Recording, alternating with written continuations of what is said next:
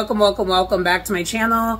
Um, it's your girl Sharon, aka the Melanin Nostalgic Runner. And yes, I did not feel like putting on um, the camera lighting or anything like that. I'm just filming from my phone without anything. So, yeah. Um, but this is not going to be too long a video. I'm just kind of going over the Olympic events that I've checked out this weekend. Oh, also the women's soccer, aka women's football they have advanced even further. So that we got that. And then I have an event that I'm going to next Saturday to watch some more Olympic coverage because if you, especially if you're somewhere here in like Chicago or any type of sports like major city, you can go to bars, restaurants, wherever, and they'll have watch parties. So I'm probably going to go to a watch party next Saturday. I went to a watch party last Sunday to watch the women's soccer. And Trinity Rodman, she's just been killing it. She's been killing it. So um, that's kind of the other update that's going on. Um, but yeah, I'll be back and I'll um, I'm gonna you'll you'll see soon about some of the other things that are happening. Um, oh, by the way, I'm filming this on the Sunday, so um, I'm not gonna be able to keep up with everything because there's just so much Olympic stuff going on and it's actually such a distraction. A little too much of a distraction because i'm like so engr engrossed in it. But yeah that's what's been happening. Yeah.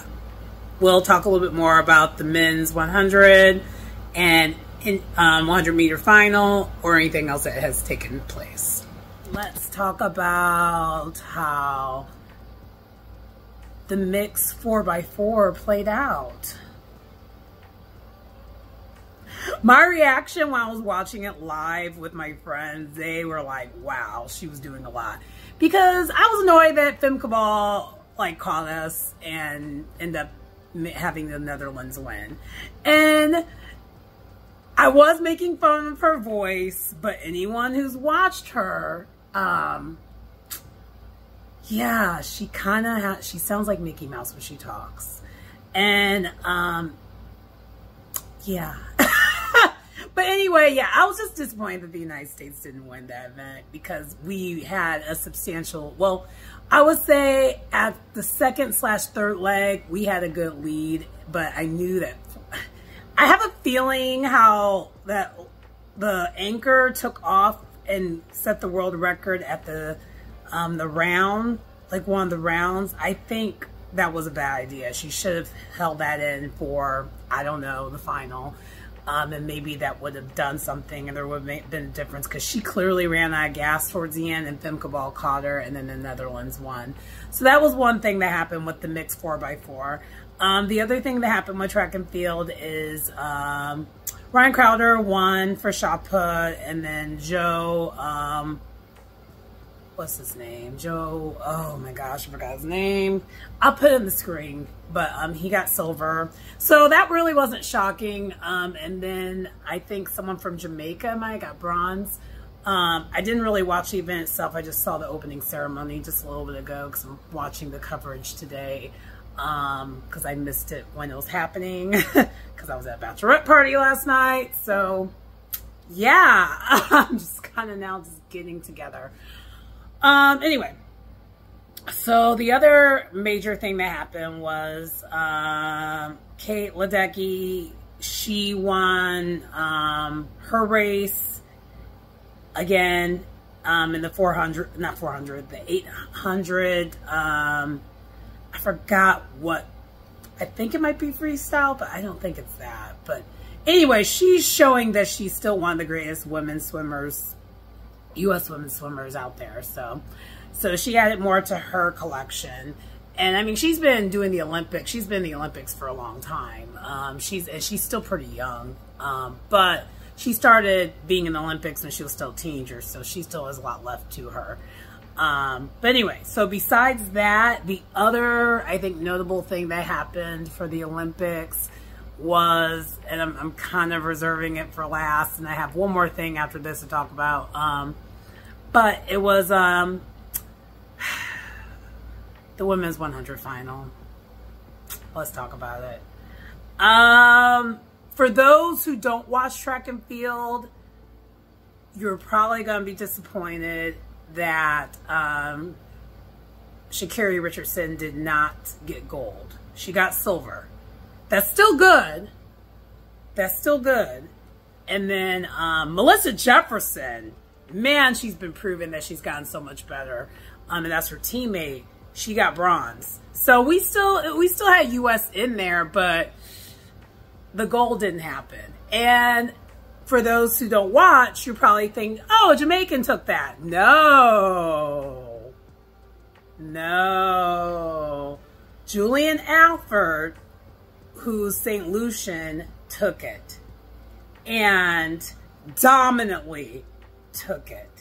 And honestly, if Shericka Jackson would have been healthy and been in this race, that would have been interesting to see. I'm not sure who would have won that, but I think even Julia Alfred would beat her too. But maybe not. I don't know. Because Shericka Jackson, for those who don't know, she was kind of the main contender for both the um, 100 and 200 for Jamaica, and she's out. Um, she, she withdrew from both, like, she's not, I don't think she's competing in the Olympics at all this year. Jamaica just kind of been plagued. The, the, sprinting women have all been kind of plagued with injury. The only one who's there is Shelly-Ann Fraser-Pryce, but, you know, this is her last hurrah.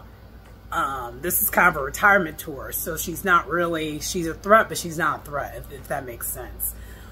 Um, so yeah, because she wasn't even in the final, I don't. Yeah, she wasn't even in the final, so... Um, they'll probably have her do the relay so that she gets one more, you know, gets contention for one more um, medal. And I don't know if she's in the 200 or not. We'll find out next week because um, I did not follow the other countries' Olympic trials to figure out who's who's all there.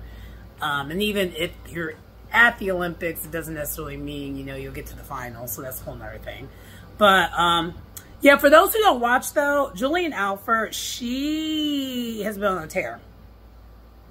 She's been on a tear. Um, she's kind of been someone to look out for this whole entire time. And honestly, if you watch the U.S. Olympic trials with Sha'Carri Richardson, her start has been not good. And they even alluded to it, and I even was thinking it too while I was watching the Olympic trials and how she was starting. I'm like, she needs to clean up that start. She's going to be in contention of anything. Um, and unfortunately, that start still wasn't cleaned up. And honestly, that probably is what cost her the gold. Because I think if she would have had a good start, I think she could have gotten gold. It's just she does this start where she sidesteps. Is is also slightly, it was very obvious for one of the events that, um, one of the um, um, races that she did earlier this year. I'm sorry, I'm cleaning up my hair a little bit. But she does it kind of every time. It's never a just straight thing. And it's just due to her running style. Um, you know, she runs so much different as a sprinter than like mostly anyone else. Um, the way she's built is different. Um, so yeah, her and her coach are going to work on that. I'm pretty sure she'll still be the anchor for like the 100 um, relays. So she is she is she's time to get more medals. Um, I don't remember if she even is in the 200. I don't think she is though. I'm almost positive she's not. So yeah, we'll see. We'll see what happens there. But um, hey, so again, I already mentioned before, I do not feel feel like setting up a camera or anything like that. So the lighting's probably gonna be a little bit off in this video, but I'm not gonna be on here very long. I did just get finished finally watching, and I am tired. You can tell I'm tired. Yeah, I'm definitely tired. um, for those who don't know, I I went to about I was I was part of a bachelorette party yesterday, and it did not disappoint. it was a good time. But um, anyway, so um, I finally watched the men's 100 meter final, and Jesus, it was traumatic. It was dramatic so dramatic. Um, one thing I will say is they didn't disappoint to make it feel important. Like that, I want to give France all their flowers for because for so many times I feel like track and field does not get respected, at least here in the United States. It's not really respected enough, in my opinion, as some of the other sports. Like they, like we know, we know the pay range in the United States for these track and field athletes are not going to be like they are for like the NBA and all these other things.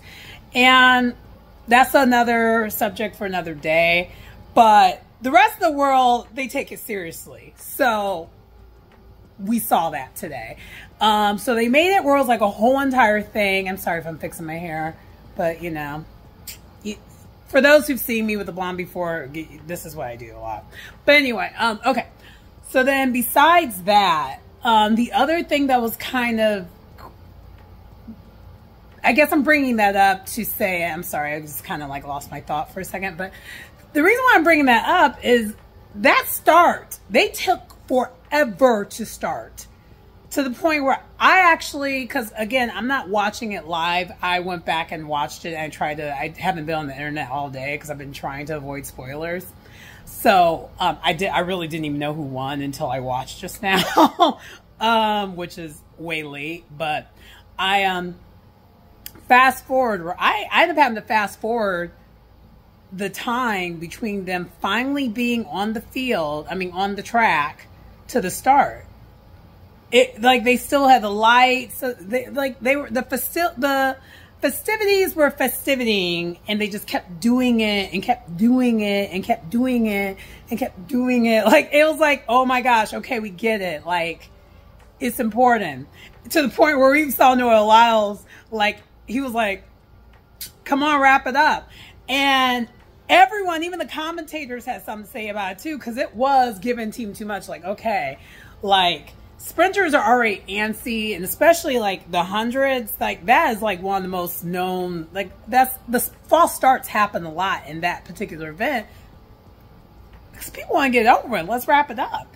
And, I, and to my surprise there was no false start so maybe that delay worked but i think it might mess some of the athletes up. Like for example Kung Fu Kenny was nowhere to be found. I thought he was going to make the podium this year, and he, I think, was like in sixth place. But it was a tight finish. Like everyone was like back to back to back to back to back. And Noah, Noah Lyles, he did it. He did it on him. That confidence talking, that eh, eh, eh, eh, eh, it worked. And I love it. I love it. I love it. I love it. But, it was all by a hundredth of a second though. Um, another Jamaican, his Thompson, he thought he beat him. And you couldn't tell because, you know, they had to go to the tape. So like it, it took a minute for them to figure it out and turn out he didn't. Um, so he got silver. And then Fred Kerley, he got bronze you know, his season this year has been kind of shaky. He's had a lot of weird, random, quirky incidences that's happened. Really, ever since the World Championships two years ago at Eugene, he really hasn't been quite up to par. Um, but he made up for it. He he got on the podium. So we have two Americans and Jamaican, and then the reigning Olympic champion um, Jacobs from um, Italy. He was nowhere to be found either. Um, and I think he actually injured himself because he was iced up and like taped up right after the race. I don't know if he like tore his hamstring or what. I mean, it seems like that's what it was, but who knows. Um, but yeah, that was, I finally got to see it and wow, it did not disappoint. Um, Lastly, I forgot to mention, so for the women's um, gymnastics, um, Simone Biles, um, she I think I mentioned in my video before, but she did get gold for the women's overall. Um, um, not overall, um, women's all around. So she got gold in that while Suni Lee got the bronze um, for that. And then um, I don't know the lady's name who from Brazil who got silver, but it was, it was, it was OP. It was, it was a, it was POS all, all day. Like just the mel the melanin was melanining when it came to like that that event. And the reason why i'm kind of making that point to say is i've been someone who's watched olympics all my life. And gymnastics used to look way different when i was little. Like my Simone Biles was Dominique Dawes. And she was like the only one. And now to see what the sport is looking like today chef's kiss. And it's not just with the United States. Like you're seeing it globally. You're seeing a whole bunch of other women of color. Like I mean, whether you're, you know, African descent or not, that's, I, I don't care about that. I just love that there's more representation across the board when it comes to women's gymnastics because it, it did not look like that in the 80s and 90s. So I will say that. Um, also, to the other notable thing that happened, um, Simone Biles, right now she has three gold medals. So they got the team gold medal, um, and then also, I just mentioned the other thing, the all around. And then she did also get a gold in um, the vault. So she added that. And then Suni Lee has another bronze. So she has a gold and two bronze. And she got um, the um, bronze in the uneven bars. So there's that. Um, I'm not sure what the results are yet, and I don't think the results have came out yet for the other events because I think there are other events. Um, as in like, um, I think I don't think the balance beam is came out. I think the balance beam is tomorrow. Um, and I'm trying to think, is there anything else that we would have saw?